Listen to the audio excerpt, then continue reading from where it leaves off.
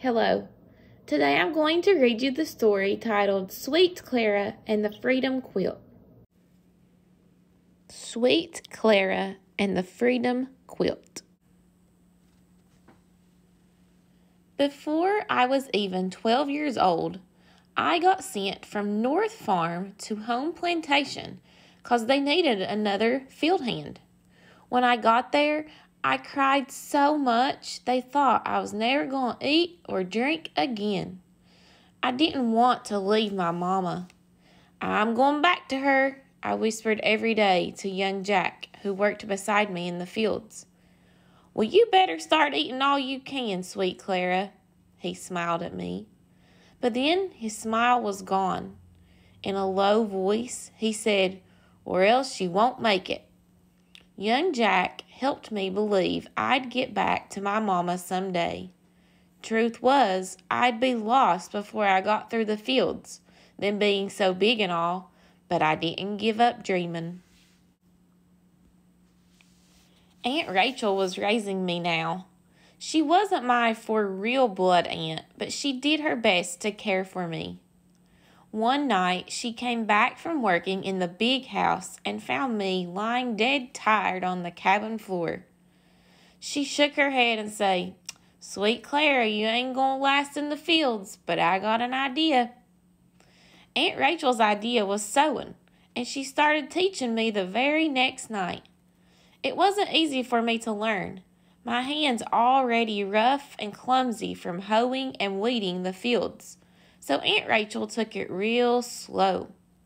She brought scraps of cloth from the big house and taught me about each one, how it was special and had to be treated in its own way. I liked to piece the scraps together to make pretty patterns of colors, but Aunt Rachel didn't care much about pretty patterns. Now you rip out that whole row and do it again, Clara, she say. Why I got to make these stitches so tiny? I complained. You gonna be a real seamstress. That's why. Tomorrow you comin' with me to the big house. I got it all worked out, Aunt Rachel say one day. I was frightened. You ready to sew with me? She went on. Mrs. daughter Ella be getting married come spring. I told Mrs. I'd be needing help. She look at your work with sharp eyes, Clara. So do it quick and neat like I taught you. Next morning, I tried to eat some cornbread, but my insides was all knotted up. I never been inside the big house before or seen white people that close, except the overseer.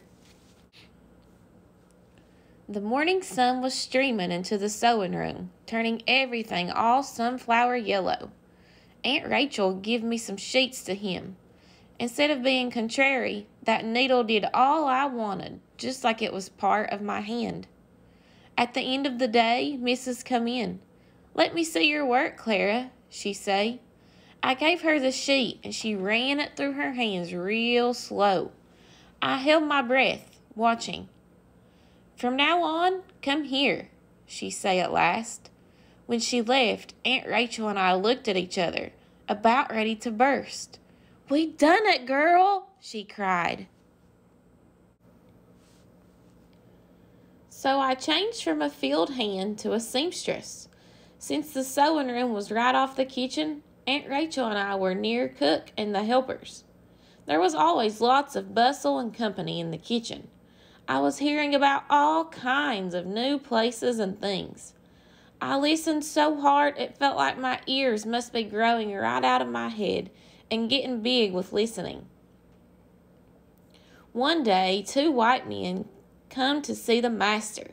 The drivers went into the kitchen to talk to cook. There being too many runaways last summer, one of the drivers said. They going round asking all the masters in the county to join the patrollers. Crazy running away, muttered Cook as she beat up some batter. Where you going to get to except lost in the swamp? Don't know, said the other. But I hear we ain't that far from the Ohio River. Once you get that far, the Underground Railroad will carry you across. That's right, agreed the first. The railroad will get you all the way to Canada. Then you free forever. Cook snorted. If it be as easy as you two let on, more would have gone. One of the men replied in a quiet voice, It'd be easy if you could get a map. Walking back from the big house that evening, I asked Aunt Rachel about what I'd heard. Where's Canada? And what's the Underground Railroad? See there? Aunt Rachel pointed. That's the North Star. Under that star, far up north, is Canada. The Underground Railroad is people who've been helping folks get there, secret like. She looked at me hard. But don't you start thinking about it. You run away and get caught, you be beaten. Still, I couldn't stop thinking about it. Next day, I asked Cook, those two men that was here yesterday, they was talking about a map. What's a map? Just a picture of the land, that's all. Whatever's on the ground, a map can have it. Sunday, I went to my favorite place on the little hill and looked out at the people's cabins in the fields. I took a stick and started making a picture in the dirt of all I could see. But how could I make a picture of things far away that I couldn't see? And how could I make a map that wouldn't be washed away by the rain? A map that would show the way to freedom? Then one day I was sewing a patch on a pretty blue blanket. The patch looked just the same shape as the cow pond near the cabins. The little stitches looked like a path going all round it. Here it was, a picture that wouldn't wash away, a map. So I started the quilt.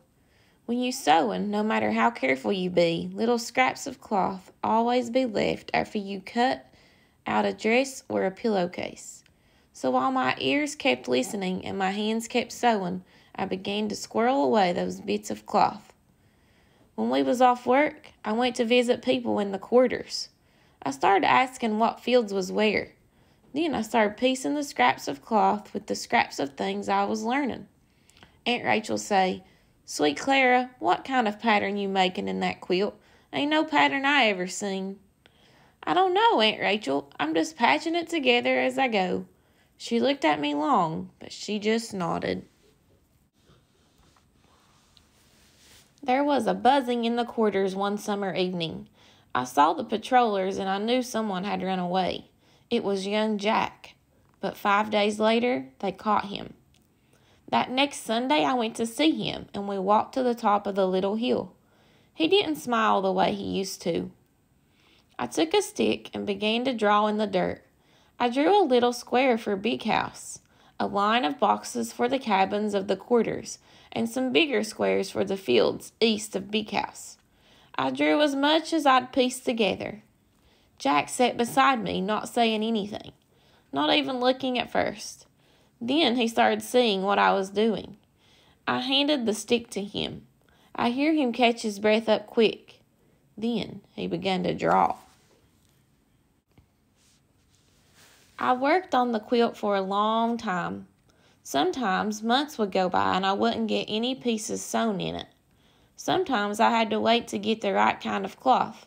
I had blue calico and flowered blue silk for creeks and rivers, and greens and blue greens for the fields, and white sheeting for the roads. Missus liked to wear pink a lot, so Big House, the quarters, and finally the big house at North Farm, they was all pink. The quilt got bigger and bigger, and if folks knew what I was doing, no one said but they came by the sewing room to pass the time of day whenever they could. By the way, Clara, a driver might tell me, I heard the master saying yesterday he didn't want to travel to Mr. Morse's place 'cause it's over 20 miles north of here. Or someone would sit eating cook's food and say, so as I could hear, word is they going to plant corn in the three west fields on Verona Plantation this year.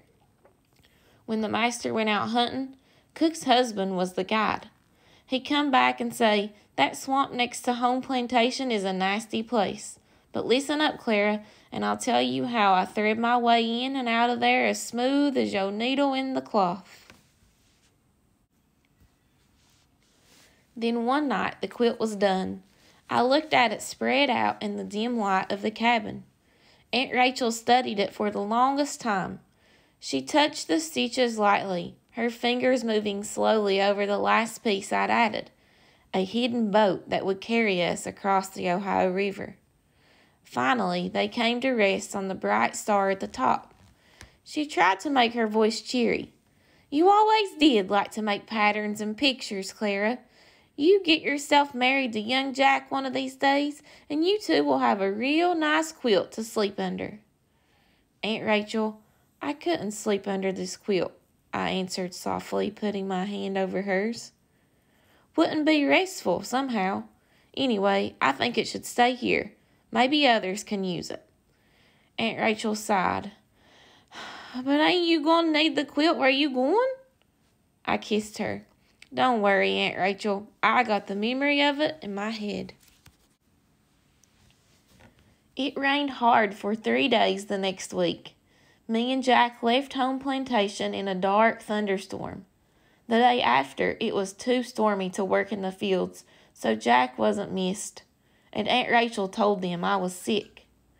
We went north following the trail of the Freedom Quilt. All the things people told me about, all the tiny stitches I took. Now I could see real things. There was the old tree struck down by lightning, the winding road near the creek, the hunting path through the swamp. It was like being in a dream you already dreamed. Mostly, we hid during the day and walked at night. When we got to North Farm, Jack slipped in through the darkness to find what cabin my mama at. Then we went in to get her and found a little sister I didn't even know I had. Mama was so surprised. Sweet Clara, you growed so big. Her eyes just like I remembered, her arms strong around me. Mama, I'm here for you. We going north. We know the way. I was afraid they wouldn't come, but then Mama say yes. Young Jack carried my sister Anna, and I held on to Mama's hand. We kept on as fast as we could, skirting farms and towns and making our way through the woods. At last, one clear, dark night, we come to the Ohio River. The river was high, but I remembered the place on the quilt where I'd marked the crossing. We searched the brush along the banks until at last we found the little boat. This was hid here by the folks in the Underground Railroad, I said. The boat carried us across the dark, deep water to the other side. Shivering and hungry and scared, we stood looking ahead. Which way now? Jack asked me. I pointed. The North Star was shining clear above us, up there through the woods, north to Canada. Sometimes I think back to the night we left, when young Jack come to wake me. I can still see Aunt Rachel sitting up in her bed. She just shook her head before I could say a word. Before you go, just cover me with your quilt, sweet Clara, she say. I'm too old to walk, but not too old to dream, and maybe I can help others follow the quilt to freedom. Aunt Rachel kept her word. The quilt is still there at home plantation. People go look at it, even folks from neighboring farms. I know because some of them come and tell me how they used it to get free. But not all are as lucky as we were, and most never can come. Sometimes I wish I could sew a quilt that would spread over the whole land, and the people just follow the stitches to freedom as easy as taking a Sunday walk.